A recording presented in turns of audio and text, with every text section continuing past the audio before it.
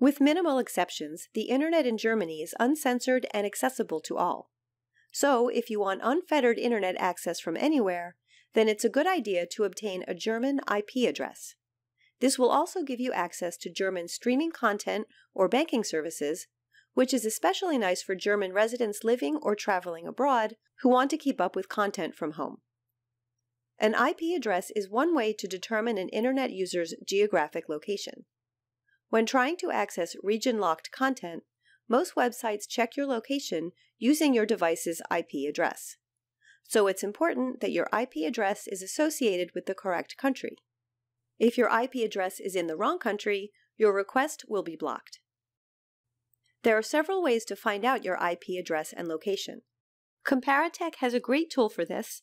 Just go to the web page linked below. Here is the IP address for my computer, and here is my location.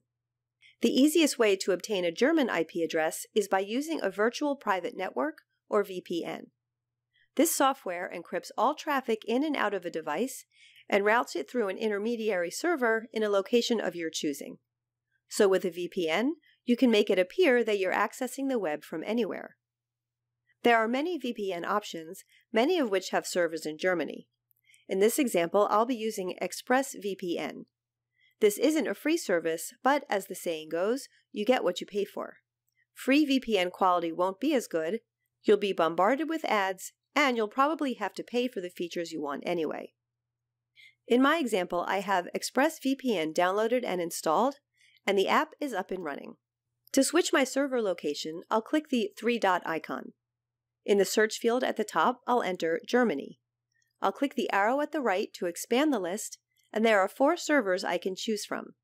I'll choose this server. Then I'll close the Locations menu and click this button to connect.